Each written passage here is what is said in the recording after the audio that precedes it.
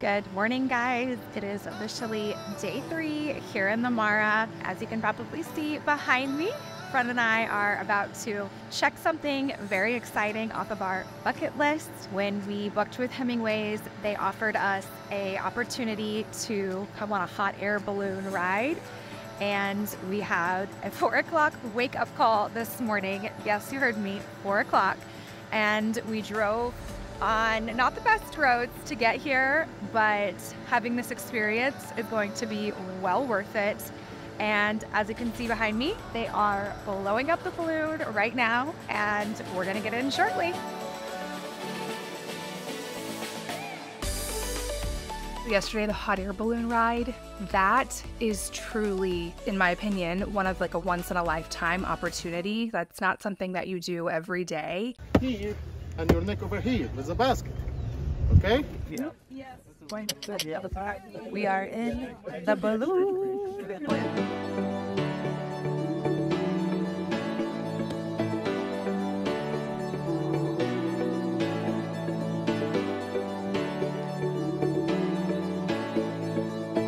Our pilot yesterday, he said that he has done hot air balloon rides, many different countries, many different scenes, and he said doing here in the Masai Mara is the most beautiful place that it is to be done.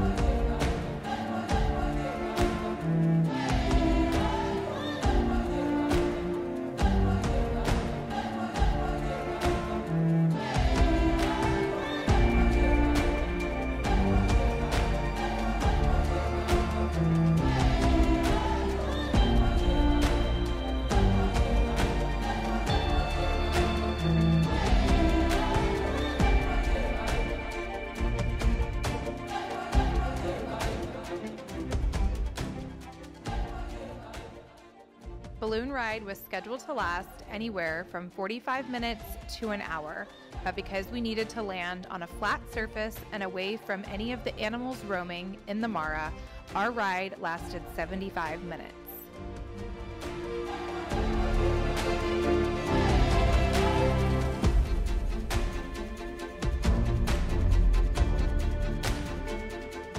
The safari trucks followed us to our final landing spot that was close to the Tanzania border and then drove us to our bush breakfast.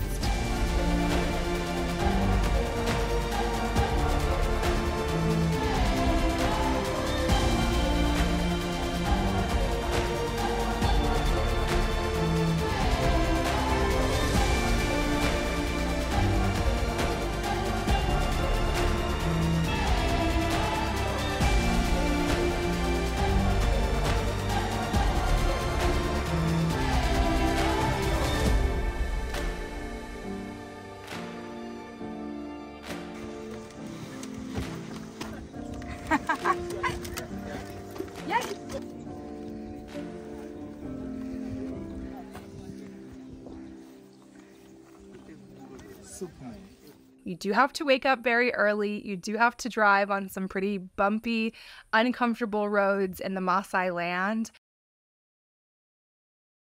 But once you get there, getting on the hot air balloon and getting to see the sunrise and getting to see all of the animals that you've been seeing on your game drives from a different vantage point, it is just truly remarkable.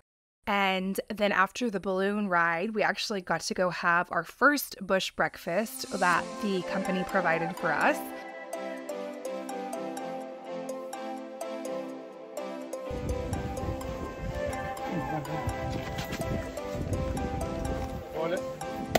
Oh,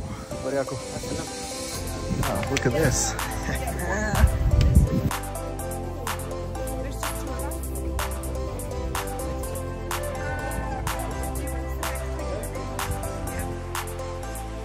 After our very amazing hot air balloon ride, we were driven over here and we were able to enjoy a wonderful breakfast that was prepared for us.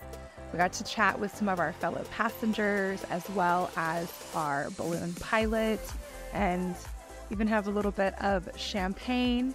Now we're just enjoying ourselves here in the middle of the bush before we make our way back to Hemingways.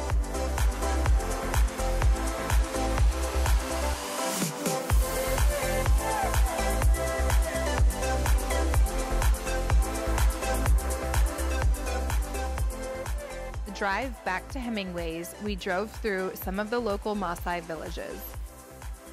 It was very interesting to see all of their animals roaming the streets.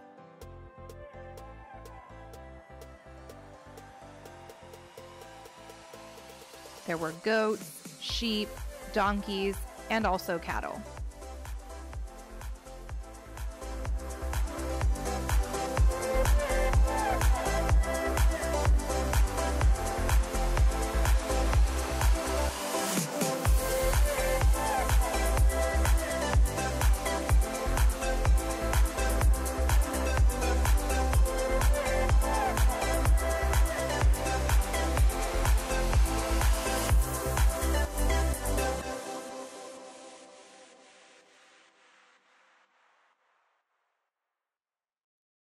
And then on our way back to our camp, we did a small game drive as well.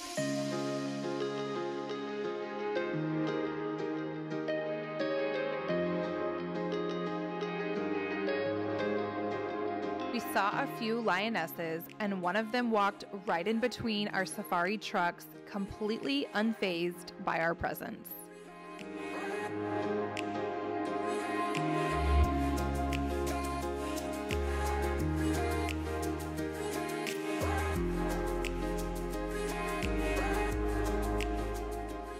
Normally, lionesses within the same pride have a lifelong bond, so getting to see them greet each other was pretty special.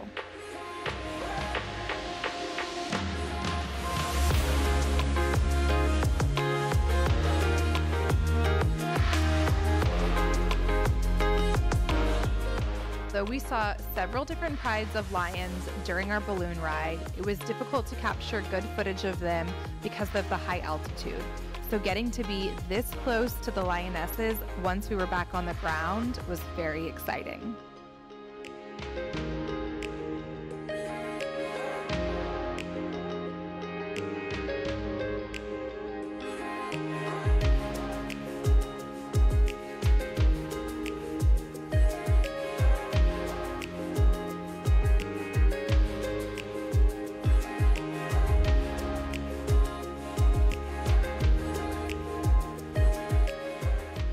Also saw two hyenas trying to prey on a warthog, but the Pumbaa showed them who is boss.